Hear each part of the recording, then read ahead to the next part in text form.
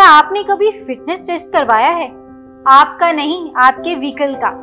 नमस्कार, आप देख रहे हैं पावर टॉक्स जी हाँ जैसे आपका एक रूटीन चेकअप होता है, वैसे ही चेकअप आपके व्हीकल का भी होता है। इसके लिए पूरी तरह से प्रॉपर पॉलिसी बनी हुई है, जिसका नाम है व्हीकल स्क्रैपिंग पॉलिसी तो अगर आपके पास भी कोई फोर व्हीलर है तो आपको ये वीडियो ज़रूर देखना चाहिए। कहीं आपकी गाड़ी कबाड़ तो नहीं बनने वाली। आज हम आपको बताएँगे व्हीकल स्क्रैपिंग पॉलिसी के बारे में विस्तार से। 13 अप्रैल 2021 में ये पॉलिसी आई, जिसमें 15 से 20 साल पुरानी गाड़ियों का एक टेस्ट होता है। अगर इस टेस्ट में आपकी गाड़ी अनफिट पाई गई तो उसका रजिस्ट्रेशन कैंसिल हो जाएगा और आपकी गाड़ी को स्क्रैपिंग के लिए भेज दिया जाएगा। आपको एक स्क्रैपिंग सर्टिफिकेट भी मिलेगा जो आगे फ्यूचर में आपके काम आ जाएगा।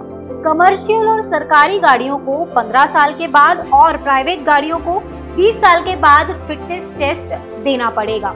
अगर आपकी गाड़ी इस टेस्ट में पास हुई तो आप उसे आगे भी चला पाएँगे, वरना आपको इसे स्क्रैप करने के लिए भेजना पड़ेगा।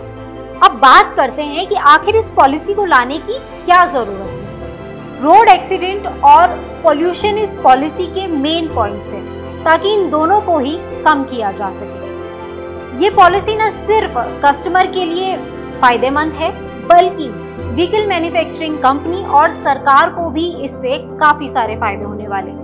नंबर वन स्क्रैपिंग सर्टिफिकेट दिखाने पर नई गाड़ी खरीदते वक्त चार से छह परसेंट की छूट मिलेगी।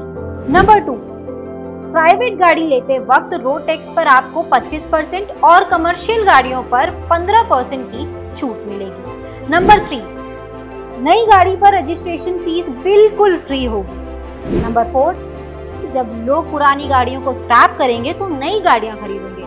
तो इससे सरकार को सालाना करीब चालीस हज़ार करोड़ का जीएसटी आएगा। साफ़ है कि इससे सरकार का रिवेन्यू बढ़ेगा। तो आपको हमारा ये वीडियो कैसा लगा हमें कमेंट बॉक्स में ज़रूर बताएँ। वीडियो पसंद आया हो तो इसे लाइक शेयर और सब्सक्राइब करना ना भूलें देखते रहिए पावर टॉक्स